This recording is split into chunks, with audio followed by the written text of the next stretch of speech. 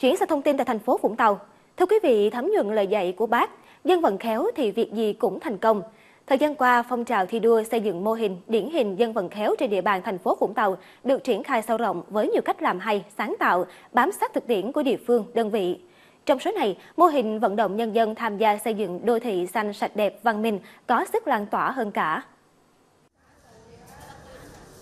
Được triển khai từ năm 2017, mô hình tuyến đường phụ nữ tự quản xanh sạch đẹp do Hội Liên hiệp Phụ nữ phường 1 thành phố Vũng Tàu triển khai đã lan tỏa đến tất cả các chi tổ hội phụ nữ trên địa bàn phường. Đến nay, toàn phường có 19 tuyến đường triển khai mô hình này.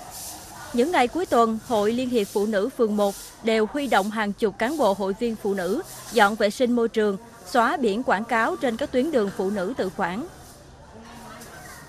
Hôm nay là trên phường xuống phụ nữ à, làm sạch sẽ đường thành phố. Tôi rất vui nên tôi cũng tham gia để mà giúp cho thành phố sạch sẽ. Tôi rất là phấn khởi khi mà à, được tham gia vào tuyến đường à, phụ nữ xanh sạch đẹp này và tôi đã cố gắng là động viên mọi thành viên trong tổ đều đoàn kết là góp chung tay góp sức đó là giữ vệ sinh môi trường. Năm 2023 thì họ duy trì và mở rộng và chúng tôi cũng tiếp tục để ra soát các cái con đường, các cái hẻm mà hiện không có công trình đô thị cũng như là công nhân đến làm thì chúng tôi sẽ rà soát và xin à, ý kiến của đảng quỹ cũng như báo cáo với chỗ à, cấp quỹ chính quyền địa phương đồng thời rồi cũng à, phối hợp với cấp quỹ chi bộ chúng tôi sẽ khảo sát và thành lập các cái tuyến đường mới để phân về cho các chị em hội viên phụ nữ thay nhau và thực hiện cái tuyến đường này. Thực hiện mô hình dân vận khéo ngày Chủ nhật xanh, Đoàn Thanh niên phường 5 thành phố Vũng Tàu đã huy động 50 đoàn viên, học sinh, giáo viên ở trường học và lực lượng vũ trang nhặt rác ở bờ biển Bãi Dâu. Thấy đây là một hành động rất là thiết thực và mang ý nghĩa lại to lớn cho mọi người. Một là tuyên truyền cho mọi người về việc bảo vệ ờ, bãi biển, vệ sinh môi trường, tạo cảnh quan ờ, xanh sạch đẹp nhằm góp phần ờ, quảng bá đến hình ảnh bờ biển xanh sạch đẹp của tỉnh Bà Rịa Vũng Tàu.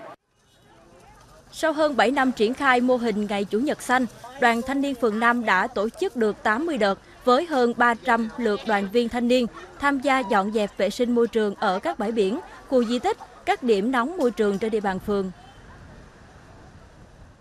Trong thời gian sắp tới thì ờ, đoàn phường 5 cũng sẽ triển khai cái mô hình của ngày Chủ nhật xanh cũng như là mô hình của dân vận khéo của đoàn phường 5 để ờ,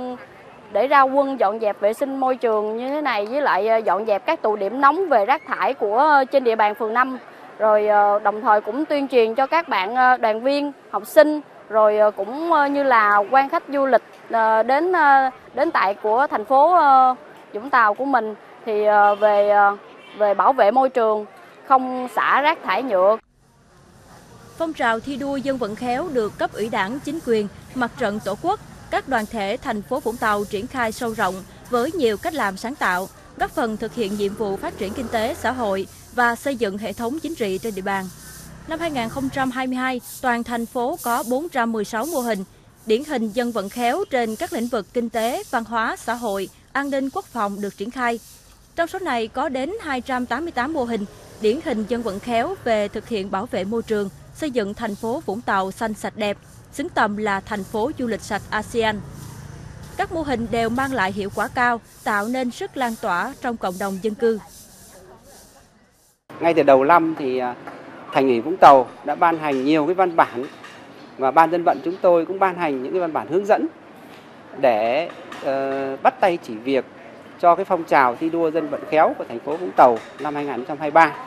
À, năm nay chúng tôi tập trung đổi mới cả, cả với cách làm